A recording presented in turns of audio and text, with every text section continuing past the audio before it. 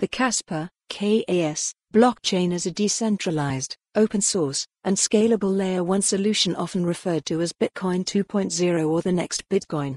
However, Kaspa is unique in its own way despite functioning very similarly to Bitcoin. Just like Bitcoin, Kaspa is a proof of work, POW, cryptocurrency, but unlike other traditional blockchains, Kaspa implemented the GHOSTDAG protocol. This protocol is unique in the fact that it does not have orphan blocks created in parallel. Rather, it allows them to coexist and orders them in consensus. This makes Kaspa the first of its kind to do this, with a block DAG, block-directed acyclic graph, protocol being a generalization of Nakamoto's consensus.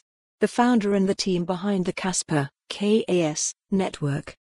The founder of Kaspa is Yonatan Sompolinsky, a PhD in computer science at Harvard University and a member of the Maximal Extractable Value, MEV, research team. He was also in Ethereum's white paper and rumored to be in Ripple's white paper as well. Related reading How to buy and trade BRC20 tokens on the Bitcoin network. Sompolinsky had direct input in creating Ethereum's technology design, having designed the GHOSTDAG protocol earlier. Interestingly, the founder's 2013 paper on the GHOSTDAG protocol is cited in Ethereum's white paper.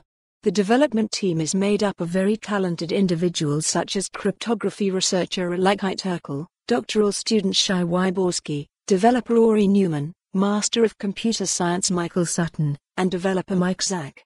They have all contributed to the implementation and ongoing development of the Kaspa blockchain network.